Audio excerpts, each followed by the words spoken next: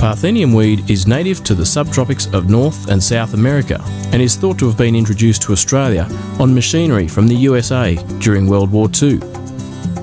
It is a major problem in the rangelands and summer cropping areas in Queensland, where it has significantly reduced production and increased management costs. Parthenium weed is a Class 1 noxious weed in New South Wales. The state continues to be free from established populations.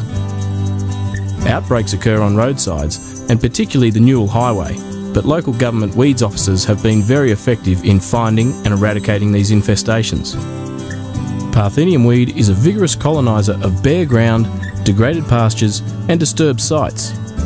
It is a fast growing annual plant with prolific seed production and poses a serious threat to agricultural production in the Namoi catchment. Parthenium weed seed is transported from infested areas in hay, grain, harvesting machinery, the movement of livestock, and human movement. New plants are difficult to detect until the plant is in flower. The small white flowers have five distinct corners and grow on the stem tips.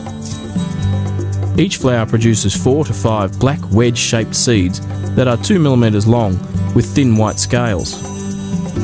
Leaves are pale green, branched, and covered with soft fine hairs.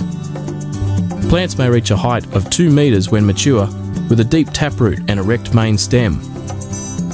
Plants normally germinate in spring and early summer and die off in late autumn. Once established, it creates a seed bank in the soil that can last for more than 15 years. Parthenium weed can germinate, grow, mature, and set seed in just four weeks.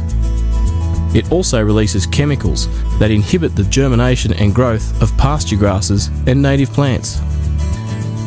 Parthenium contains powerful allergens that can cause a range of human health problems, including asthma and severe contact dermatitis. It also taints meat and milk of animals that are exposed to it.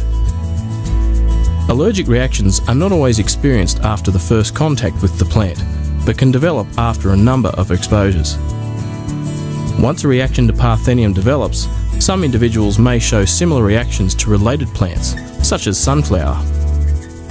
This reaction can be so severe that allergic people can be forced to move away from Parthenium weed infested areas Parthenium weed is a threat to agriculture because it is unpalatable to livestock and competes with pastures and crop seedlings.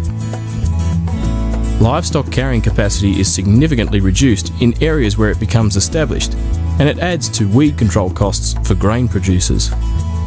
Preventing the spread of Parthenium weed is the most cost effective management strategy, and anyone in New South Wales who suspects they have found Parthenium weed should not attempt to control it themselves. All suspected infestations must be reported to your local council weeds officer or to the New South Wales Department of Primary Industries to confirm the identification.